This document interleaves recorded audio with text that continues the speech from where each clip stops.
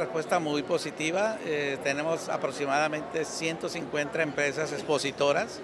Eh, en aproximadamente 70 están ya establecidos eh, de este tamaño, como el ejemplo de Constructora Muralla, que es uno de nuestros principales patrocinadores platino.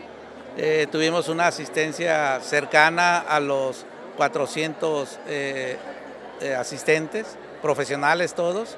Eh, tenemos llevando ahorita el Congreso con una asistencia aproximadamente de 200 personas al Congreso.